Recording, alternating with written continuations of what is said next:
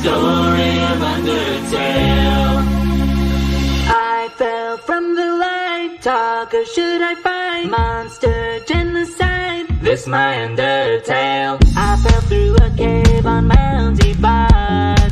I faced an evil talking flower in a pot. Explains the plot. Wants me dead, wants me to rot.